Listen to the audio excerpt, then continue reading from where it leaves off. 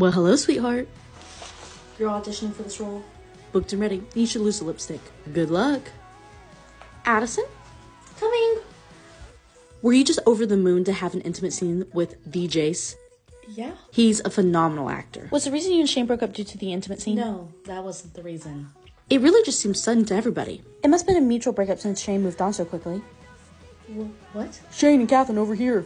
One question at a time, please. Addison, how do you feel that they're here? Catherine's beautiful. How do you feel about being here alone? Um, excuse me. Jace over here. Jace Addison, take a picture for us, please. What's wrong? Nothing. I can tell with you, sweetheart.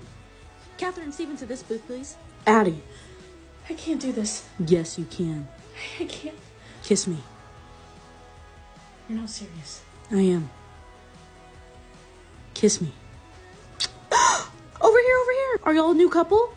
We wanted to be a surprise.